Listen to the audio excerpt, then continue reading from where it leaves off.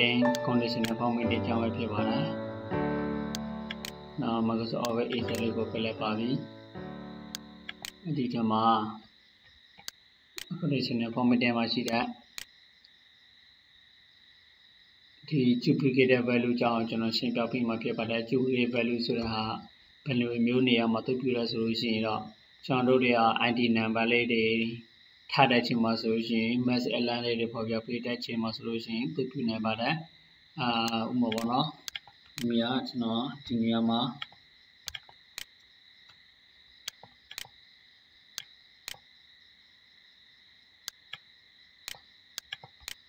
ဒါလေးဆက်လက်မှတ်လိုက်ပါမယ်ပြီးတော့ဆိုရင် quotation နဲ့ formatting ကိုနေလိုက်ပါအဲ့ဒီဓမ္မမှာကျွန်တော် highlight cell root ဓမ္မမှာ duplicate value ကိုရေးလိုက်ပါ အဲ့ဒီမှာ duplicate ဖြစ်နေတဲ့အလေဆိုလို့ရှိရင်ကျွန်တော်တို့က prefill with dust screen test အဲ့ဒါလေးရေးလိုက်ပြီးတော့ okay ပေးလိုက်ပါဒါဆိုရင်ဒီမှာမထားသေးတဲ့အတွက် color လေးနဲ့မဖော်ပြပေးတော့ပါဒါဆိုရင်တော့မိမိကဒီနေရာမှာနှင်းဆိုရဲရေးထည့်လိုက်မယ်ဆိုလို့ရှိရင်ဒါလေးနဲ့ဒါလေးနဲ့ duplicate ပြသွားပါပြီနောက်ပြီးတော့ကျွန်တော်ဒီမှာ73ရက်ဒီနေ့မှာ73ကိုရေးထည့်လိုက်ပါ ဒါဆိုရင်တော့ duplicate value ဖြစ်သွားပါပြီပြီးတော့ဆိုရင် PASS bar ဆိုရေးထည့်လိုက်ပါဒီနေရာမှာ PASS bar ရေးထည့်လိုက်ရင်ဒါနဲ့ဒါနဲ့ဌာနေတတ duplicate value ကိုဖော်ပြပေးတာမြင်ရမှာဖြစ်ပါတယ်ပြီးတော့ဆိုရင်တော့ကျွန်တော်တို့တွေကမှတ်ဖို့တဲ့ number တို့ ID number တွေ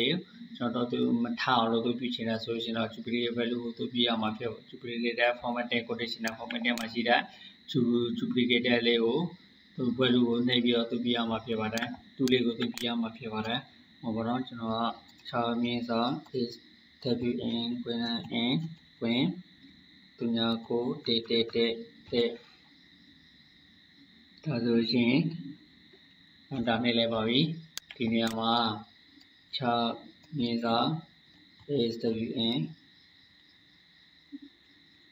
ချာမြေစာ ASWN ဝင် N နေမှာ3ညာကို3ညာ3ညာ3ညာ3ညာ3ညာတက်အဲဆိုရင်တော့ဒီမှာ duplicate value ကမဖြစ်သေးပါဘူး။ဘာဖြစ်လို့ဆိုရင်ဒီကောင်နဲ့ဒီနံပါတ်နဲ့မထားသေးတဲ့အတွက်ဒါနံပါတ်ထားပါအောင်။ညတစ်လုံးထားရပြမှာဖြစ်ပါတယ်။ ASWN ကွင်း M N သူညာကိုတေတေနဲ့တော့လေးအန်တာနေလဲပါ ဒါဆိုရင်ဒီနယ်လို့ကဟိုမှာ ID နံပါတ်လေးထားတဲ့အတွက်